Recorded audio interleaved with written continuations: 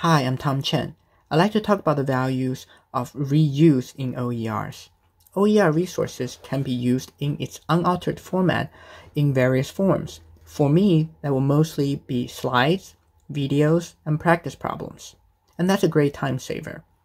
When I'm preparing for teaching, I want to connect the topics in a meaningful ways for students, but I end up wasting a lot of time simply trying to find a graph or an image or some example problems.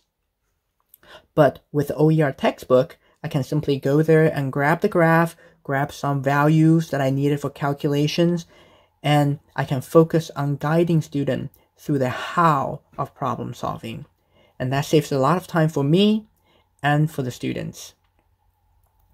Additionally, with the popularity of distant learning class, in which the resources will exist in a much more visible environment online, I have the ease of mind knowing I don't have to worry about legal issues in using some of these images or problems or tables.